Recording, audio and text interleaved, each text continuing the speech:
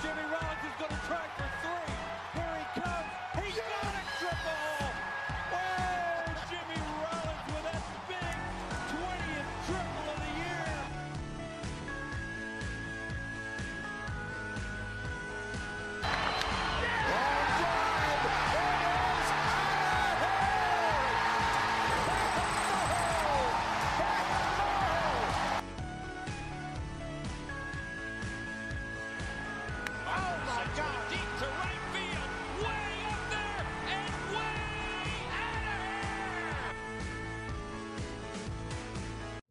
All right. Thank you for tuning in to another episode of the Bullpen Blues. I am your co host, Kevin Dixon, joined by our good buddy, David Esser. David, how are we doing?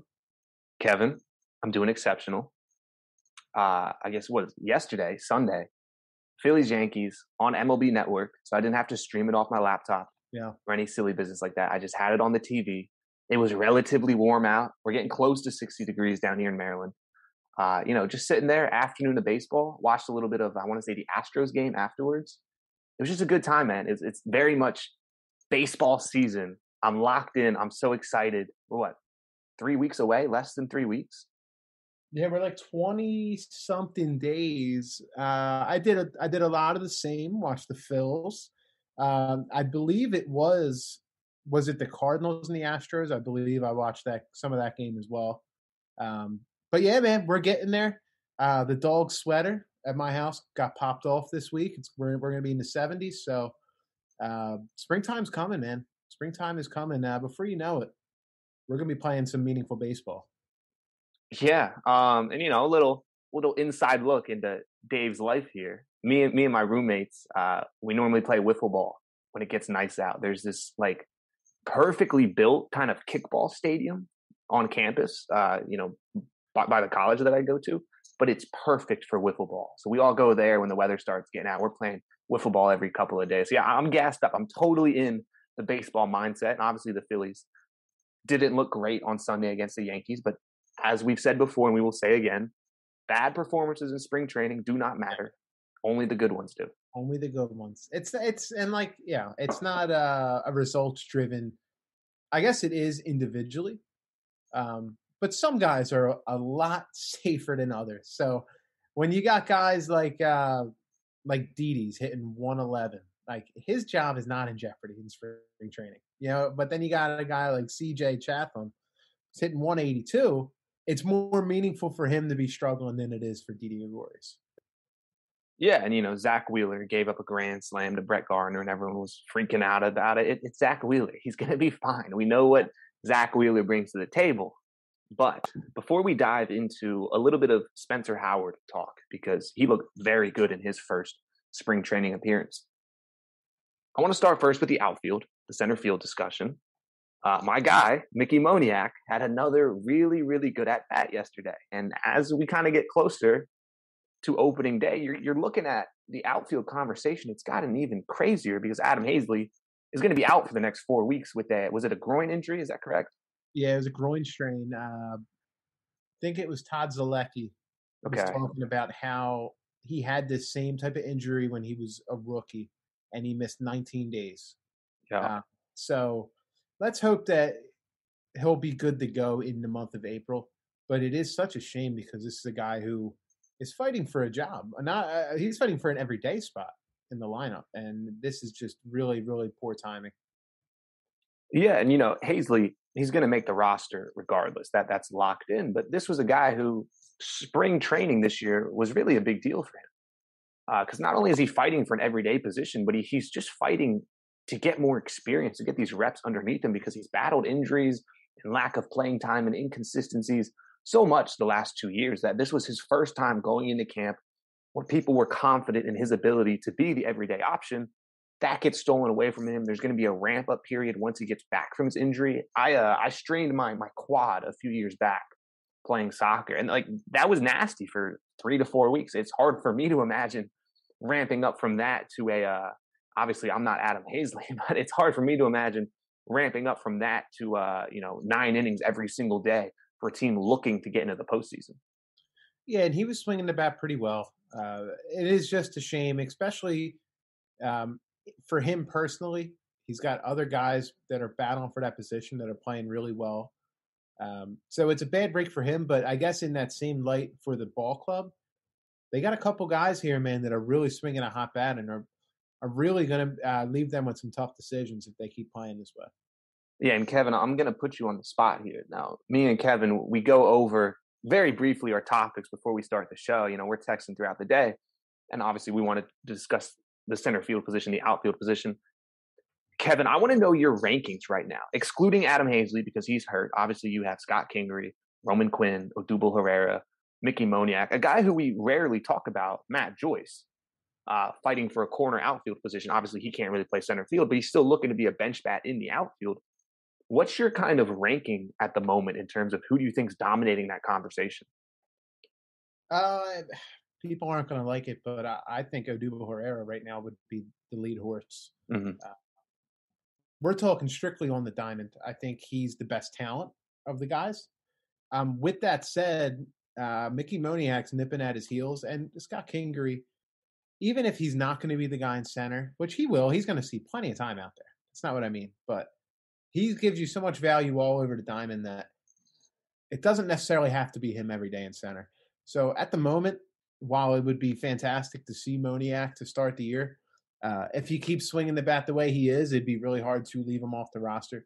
But at this point in time, uh, headache aside, uh, I think Odubel Herrera might be out in front. Yeah, I mean, I look. We we've spoken about Odubel Herrera before in previous episodes. We've made our stance on him and his his history very clear. Uh, but with that said, in spring training, he's been phenomenal. He's batting 444 with an OPS well north of one. Uh, this is a guy who's coming to spring training. He's in shape. He's producing. With Haseley now out, the pathway for Herrera to sneak onto that roster is very present. Uh, if he continues yeah. to produce at such a high level, it's going to be very hard for the Phillies to justify not bringing him on the roster. With that said, you mentioned my boy Mickey Moniak, who's arguably playing better than Odubel Herrera. Uh, I don't even know if it's arguably; he just flat out is he's a guy who the Phillies probably weren't giving a serious look this offseason at all in terms of the outfield depth, the center field conversation. But this is still a former number one overall pick who's done a lot of work the last nine, 12 months to kind of revamp his plate appearance, his plate appearances and his swing, uh, his approach to getting at bats.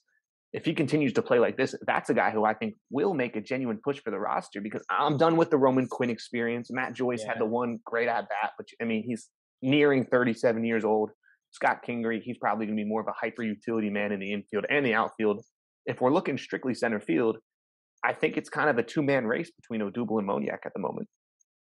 Yeah, and it's really odd because three months ago we weren't even talking about Odubel. Of course, I mean it's the Mickey Moniak podcast, so yeah, he's always. This is the Mickey Moniak podcast. He's always been on our radar, but who the hell would have thought it would be those two guys bat, duking it out in uh, mid March for a the start and center field job.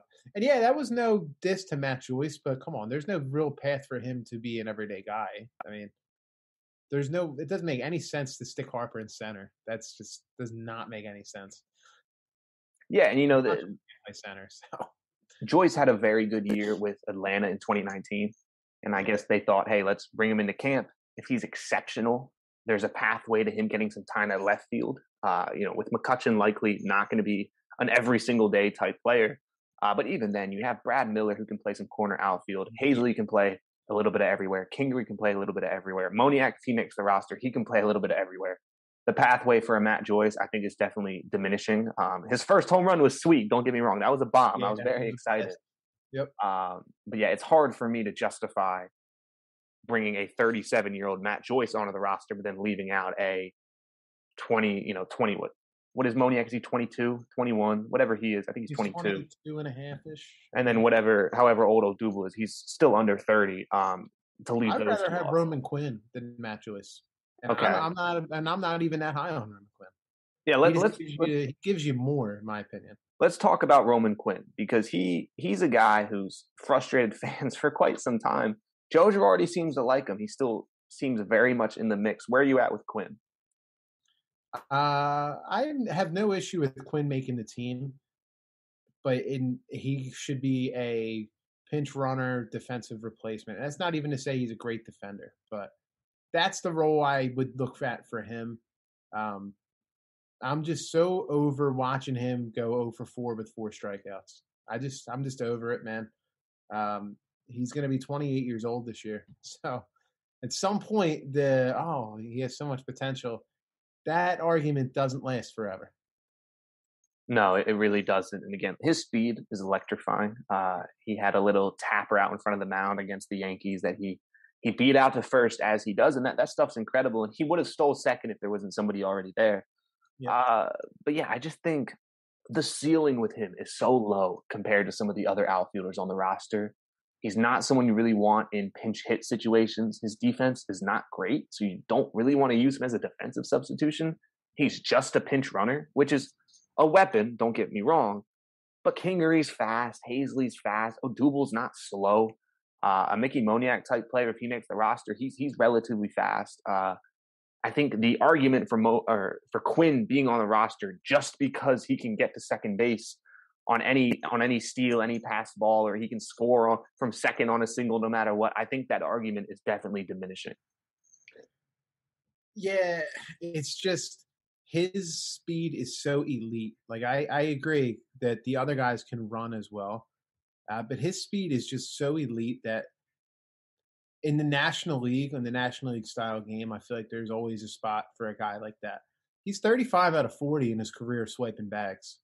Um, that's a damn good percentage. He's tw- 20 for 20 in the last two years. Mm-hmm. It's that's pretty impressive.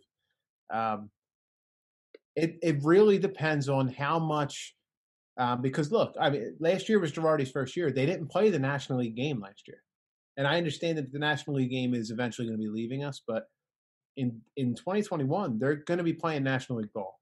Uh, so what what that means is they're going to have the pitcher. They're going to have to utilize their bench.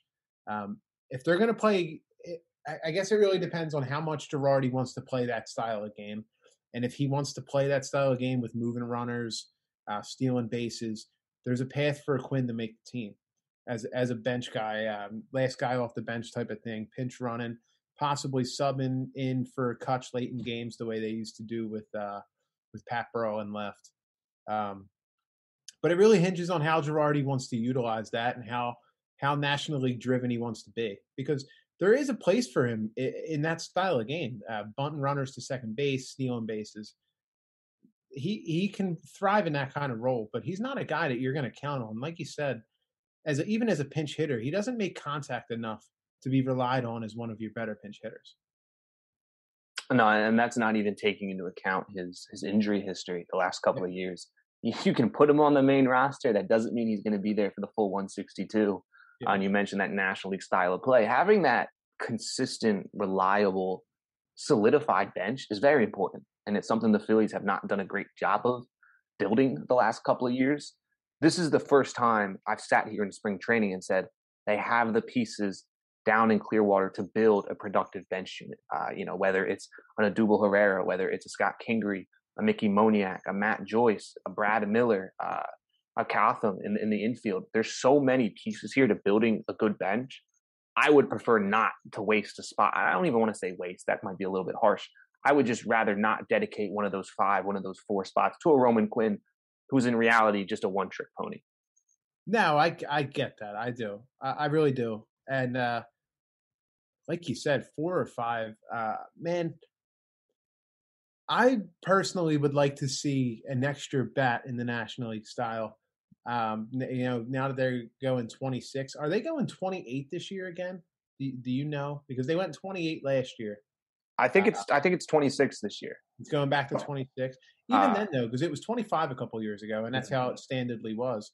I would like to see an extra bench guy as opposed to another bullpen arm, which I get it. I you know I know why teams go with the extra bullpen arm, but in the National League, man, having that extra bench guy could be big. Yeah, no, I, I've referenced uh, Destiny Lugardo's opening day roster prediction site for PhilliesNation.com a few times uh, because friend she did a really good piece yeah. on that. Yeah, friend of the pod, definitely. Uh, and she she said one of the decisions Girardi's going to have to make is does he want a nine man bullpen and a four man bench or a five man bench and an eight man bullpen? I'm leaning towards the five man bench. You just look at how many guys they're probably going to want to bring with them and how many times they're going to have to use pinch runners because we're going back to the National League style of play. Uh, nine man bullpen makes a lot of sense. The Phillies bullpen sucked last year. The more bodies you put in there, the more chance some of these guys are going to be really, really good. Um, but yeah, I, I, think a five man bench is going to make a little bit more sense uh, this year. Just specifically the fact that we're going back to pitchers, you know, batting every single day now.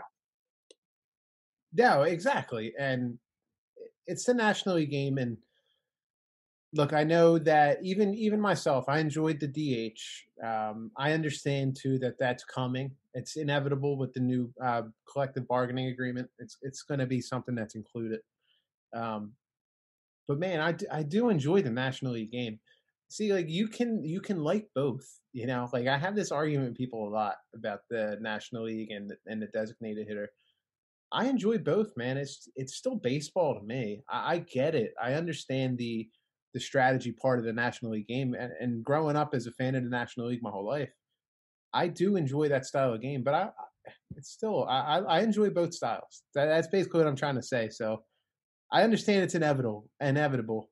Um, but the National League style is fun, and having a five man bench for that, it can be really, really beneficial. Nah, screw you, Kevin. You have to pick one. you have to be pro DH and EDH. You can't be in between. Uh, all right, so I want to I want to highlight the bullpen just a little bit because we, we just brought it up uh, in terms of who's going to make that bullpen. Somebody who I think is going to be a member of the bullpen as opposed to the rotation is Spencer Howard, and obviously I tweeted that out the other day. And a lot of people got a little bit of upset with that idea just because look at Spencer Howard. It's the most hyped up Phillies pitching prospect since probably Cole Hamels. Like this guy's a really, really big deal. He was unbelievable in the minor leagues. I said I think he's going to start in the bullpen for two reasons. Number one, his health, his stamina. Uh, he came up last year. He wasn't strong enough to pitch deep into ball games, which is expected. That's not uncommon for rookies in today's game. Uh, he never pitched 200 innings in the minor leagues, so it's really tough for him to be told, "Hey, we're going to manage your workload in the minor leagues." Then when you come to the major leagues, we're expecting eight innings every fifth day. That's a little unreasonable. Dave Dombrowski did a good job of bringing in some veteran arms and Matt Moore, Chase Anderson. That's going to alleviate some pressure from Spencer Howard to contribute this season. But the other side of that argument is I think Spencer Howard not only should he be in the bullpen for his health, but I think he should be in the bullpen because he's going to be a weapon there. Uh, Kevin, we were talking about it before we started recording. The Phillies' biggest issue in 2020 was their bullpen. Without a question, without a shadow of doubt, it was their bullpen. Second worst in baseball history, the first in the modern era. That's re- that's really really bad. I don't think you know we're the bullpen blues podcast for a reason. If you can get Spencer Howard to be this crazy versatile flame throwing 97, 98 miles per hour out of the bullpen, giving you one to two innings every couple of days, that's arguably more impactful than a number five starter. No, I, I would agree. Um, I even mentioned this to you off the air. It's something a savvy team like the Dodgers or the Rays, that's how they would operate. And we saw it last year with the Dodgers, uh, with Urias and Dustin May. I mean, Dustin May was a starter the whole year for them, and here he was in the in out of the bullpen in the postseason, throwing in high leverage situations. Now, I agree. It's it's if you want to have him contribute this year, his biggest impact is probably out of the bullpen, like you said. Um, it's an important piece, man. We saw it last year. It's it's not a, a you know a slight to him. If anything, it's a compliment because not everybody can thrive in that high leverage, high velocity role. Um, it's a good thing to have, man. It is, it, and it doesn't necessarily have to mean that he's going to be a reliever for the rest of his career. Um, I remember vividly in 2008. I'm not saying he is David Price, but David Price came up for the Rays, and they were like, "Now we're going to use him out of the bullpen," and they ended up. I mean, they, you know, they lost to the Phillies in the World Series, but they got to the World Series using him in those situations. Um, the good teams do that, man. So I have no issue with that. I think, like you said, that's probably his most uh, would be his most valuable path. Yeah, and I mean, look, pitching is pitching. Uh, if you're good enough to pitch as a exactly. starter, I, I, I would exactly. hope you're good enough to pitch out of the bullpen. Obviously, it's a little bit of a mental game. Uh, yeah. But think about how many times last year that you know Vince Velasquez Vince Velasquez would get rocked after three innings, and the Phillies just had to pump the game because they had nobody in the bullpen who could give them more than three outs. Uh, three outs if we're lucky. If you have Spencer Howard, you know, let's say Matt Moore, he's cruising two, three, four innings in the game, pulls his hamstring, needs to come out. we have someone to turn to. We don't have to just give up that afternoon. You can say, "Hey, Spence, go give us three innings," because he can he can give you three innings. He's proven he can give you three innings. I want to highlight a stat that I pulled up in, in the article I wrote this afternoon. His ERA between innings one through three last year, so in the major league, was a 3.50. His ERA after three innings, so innings four through six, was in the 12s. But what that's telling you is through the first three innings, he's a weapon. He's a very strong weapon. His, opponent batting average uh, the first time through the order is is extremely low. I want to say it's 180, 184. Uh, yeah, 184. That's that's that's stunning. That is better than anyone in the Phillies bullpen can produce right now. So if you can use Spencer Howard as a guy who can come in, give you three, four, five, six, seven or eight outs at any time because he's such a weapon in those first couple of uh, batters. That's that's so productive for a team that's biggest weakness to this day is still their overall pitching depth. Yeah, and, and it just comes down to man, like for the people that like like we just mentioned, for the people who want to like downplay that, like we just watched the 2020 season get completely derailed by the bullpen. I don't understand how it can be viewed as a bad thing if you think that he can make a big impact in that role. Um, another young guy that I would love to see get a chance in that style of role at some point this year would be Adonis Medina. He's looked really good so far as well, David. All of a sudden, the Phillies have these two young guys who, all right, they might not be, um, you know, top 50 prospects in all of baseball, but Medina and Howard both look, look like they're going to be able to help this ball club for the next couple seasons. Yeah, no, I'm glad you brought up Medina because he was a guy who I was excited about when he debuted last year, and then I kind of forgot about him uh, during the offseason because you know they brought in so many starters, so many big name veteran relievers, you know Brandon Kintzler, Tony Watson. I got kind of distracted, but you're totally right that that's another weapon that could contribute this year, whether it's out of the bullpen as a spot starter. Like the potential just didn't disappear with these guys; it's still right there, and these are guys who have already debuted in the MLB. They've gotten used to that. They, they've developed a relationship with Joe Girardi. If they can be used in any sense as a weapon this year, that's huge for the Phillies. Yeah, and they're 24 years old. Like we're getting to that point now. You know, um, you know, obviously 24 by no means is that old, uh, not at all, uh, in in the sense of baseball or anything. But like they're not 21 years old. Like these guys are getting to the age now where you would think, all right, they're going to start helping us contribute. And yeah, maybe they went to him last year because they really just didn't have any other options when it comes to Medina. But we talked about it on the pod at the time. He was pretty good in that start. Uh, he settled in. I, I, he was rocky early, but you're making your major league debut. I I, I get it. That's got to be uh, a wild experience.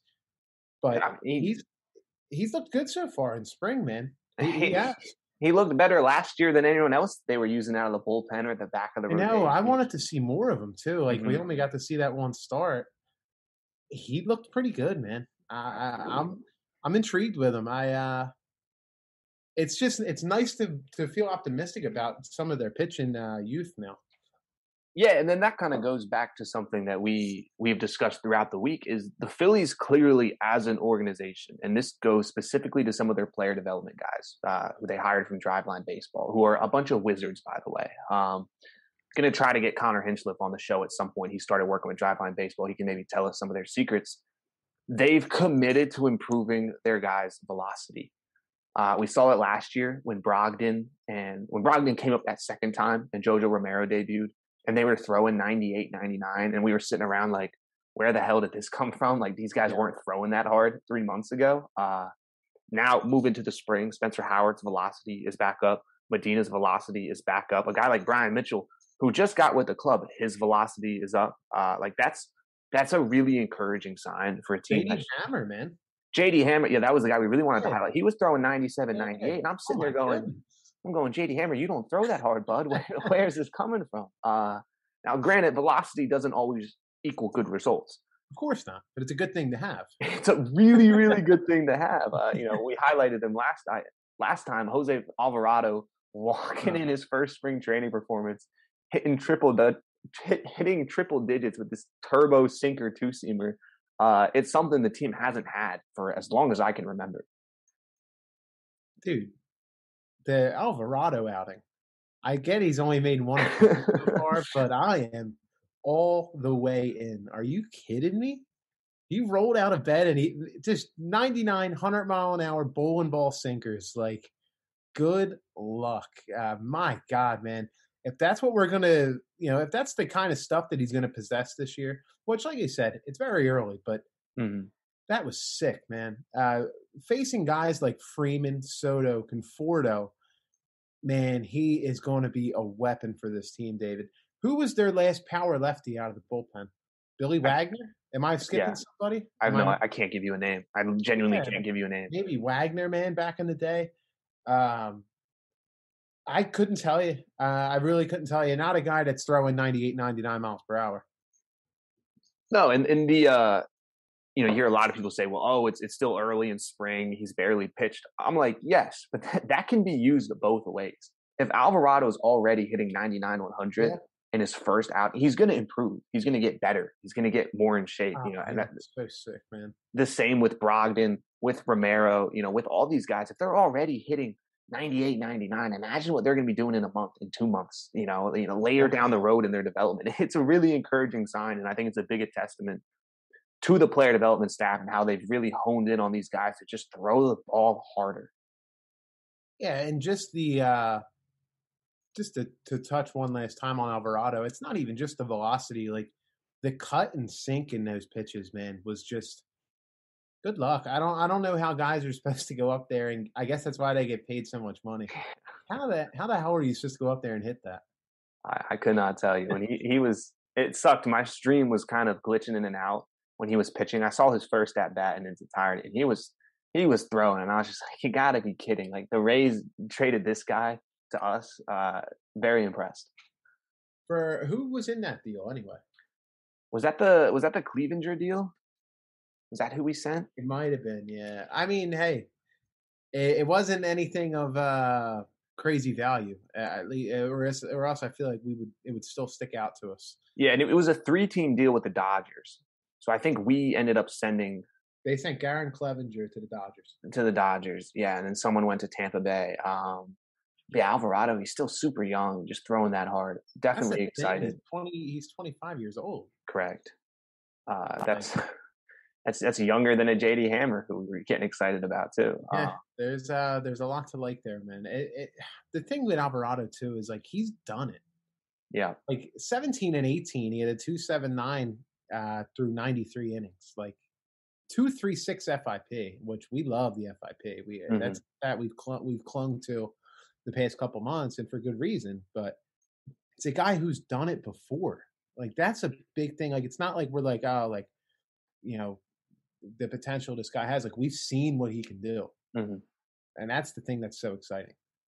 yeah. And I, I want to briefly touch on two other bullpen pieces that we didn't initially plan to highlight, but Brandon Kintzler, Tony Watson, they've they've both looked the part thus far. Now they don't throw the 99, 100 that Alvarado is and that Brogdon is, but they look composed. They get outs. They have such a proven track record of being productive pitchers. You need that kind of veteran presence in the clubhouse, in the bullpen, because this is a bullpen that desperately needs some leadership. Uh, I think Archie Bradley has done a really good job of stepping in and being like, "Hey, everyone, I'm the big new addition. You can follow me. I'm the closer. I'm on social media, all that good stuff." But a Brandon Kintzler, I mean, he was towards the top of the league in saves last year. That that's nothing to slouch at. Him coming in saying, "Hey guys, I've been here before. I've done that. This is what I do. This is what I don't do." That's such an underrated addition to a bullpen that's still pretty young compared to the rest of the league. Yeah, I I feel like the reason why we're not even like totally highlighting on, on them is because we know what those guys are, and they're very reliable veteran relievers that, like you said, they might not throw you know 9,500 miles per hour, but they get guys out, and they've consistently gotten guys out for years and years and years now, to where it's at the point where you're you kind of just know what you're going to get, you know, and mm-hmm. it's and they give you they give you some really good production. Watson was a guy I'd I had highlighted back in like November as like you know the Phillies need some lefties. Him and Alvarado, those are two pretty damn good left-handers to have out of the bullpen, David. And I I already mentioned it in this episode. Now, um, the amount of left-handed power bats that are in the division, having those kind of guys is going to make a huge difference. Like we just talked about it. The Phillies haven't had that that left-handed guy to be able to go to. We had to watch Adam Morgan. oh This man, was oh my god, I I could not stand Adam Morgan. You know, like now like we actually have guys who we can count on. At least we'd like to think so. Yeah, I'm getting PTSD of Gabe Kapler uh, subbing in Adam Morgan to take on Juan Soto with the game on the line. Uh, it did not. uh, who was it? Hoby Milner is he's sick, man. What's that cut? Uh, you live in Maryland, yeah, so you might not even you don't listen to a ton of WIP. I No, I don't. Yeah, the when they pulled Nolan, they brought in Ho- Hoby Milner on opening day. They had Kapler like Okay. Hoby Milner is sick, man. Like Hoby Milner, come on, man. Yeah, we Uh, finally got some left-handers, man. It's it's. I'm excited. I really am. Yeah. No, and one of the best feelings in the world, and I've already experienced this a few times just in spring training, is that when you go to the bullpen and you kind of tune out of the game. You Yeah. look up and you go, "Oh, okay, Brandon Kintzler's coming in. I can I can do something else for ten minutes because I know he's going to get the outs." Oh, oh, Tony Watson. I don't really need to watch him because he's going to get the outs. Uh, that's the best feeling in the world. I don't want to have to be on the edge of my seat every time we bring in a reliever. Number one, not good for my stress levels. but number two, it's not how you win baseball games. Uh, Kevin, real quick before we start wrapping up here tonight, I want to talk about Vince Velasquez because he, he's another one of those guys who, despite everyone else's success, his velocity kind of seems to have stuck around 94, 95, uh, which I've always found funny since we call him Vinny Velo, and he really doesn't throw all that hard anymore. Um, I put out a tweet a couple days ago with my, you know, super early bullpen projections, and I had Vince Velasquez off the list. And people were like, "Oh, do you have Vince in the in the rotation? Where's Vince?" I don't I don't have him on the team. I think they should try to trade him. I wouldn't hate if they cut him. I'm just at the point with Vince where it's like I understand the potential. I understand the versatility that he offers in the sense that he can give you some starts.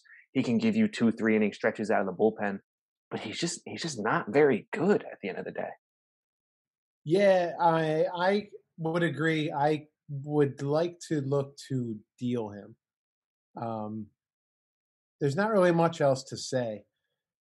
It'll be interesting to see how his versatility, um, meaning at the plate, and what you can do with him in the National League game. He's a career 225 hitter. It's pretty good for a pitcher. That, that, that's where Uh, we're going with this.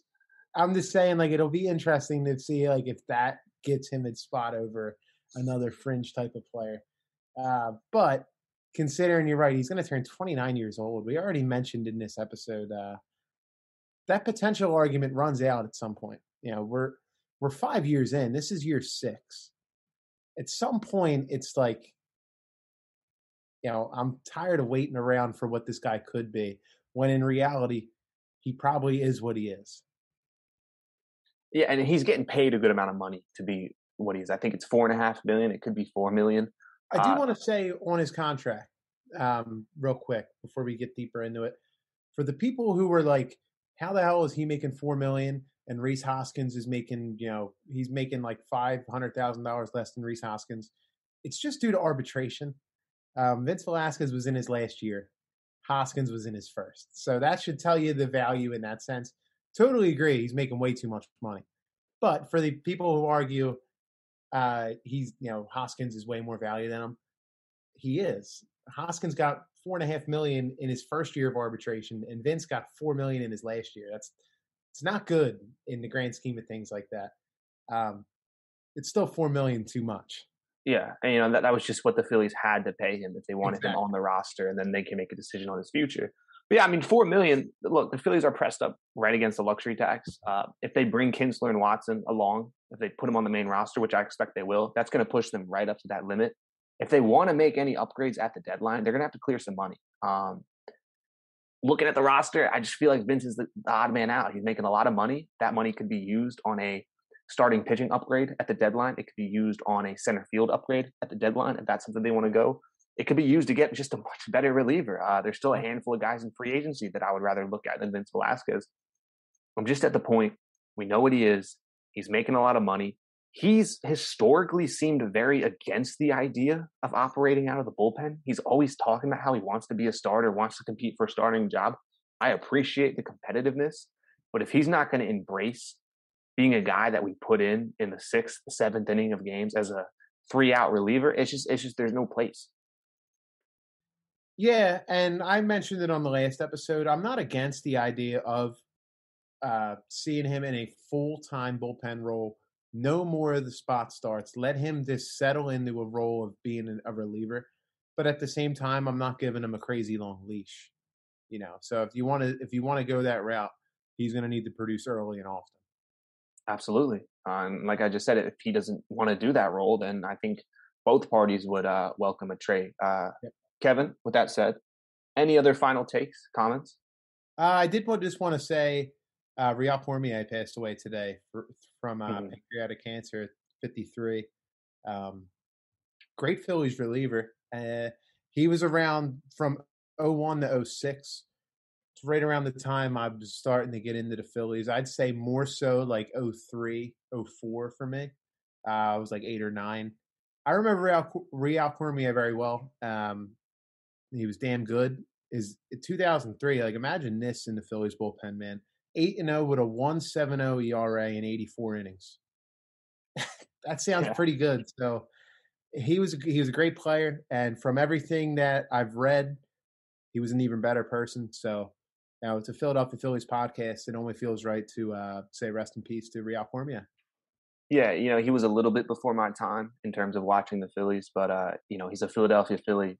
Nevertheless, uh, you know, huge, huge prayers to his family, uh, his friends who are mourning right now. It's obviously super, super sad. Um, Kevin, anything else on on the mind before we log off tonight? No, that's it, man. I'm just uh, I'm ready for some some Philadelphia Phillies baseball, man. I, that's what it comes down to, even today, you know, when we decided we were going to record, I'm just, you know, I was just thinking about the Phillies. I was like, you know what, I'm going to text David. Let's see if we can get a show uh, going tonight. And I'm glad we did. I'm glad we did. Yeah. Um, you know, and, and right on cue, I was just looking at the schedule. They got Toronto tomorrow at one o'clock. Vince Velasquez on the mound, so maybe he has an opportunity to shut yeah. us up a little bit. You know, obviously, obviously rooting for him. yeah, but we'll see. Uh, with that said, uh, make sure to follow us on Twitter, Facebook. Uh, you know, subscribe to Apple Podcasts, Spotify, wherever you get your podcasts. Head on over to la-touraine.com. Use discount code BPB10 at checkout. Get yourself 10% off on a watch. All the social media links will be down below in the description. Uh, again, we're the Bullpen Blues Podcast. We will catch y'all next time. Go Phils.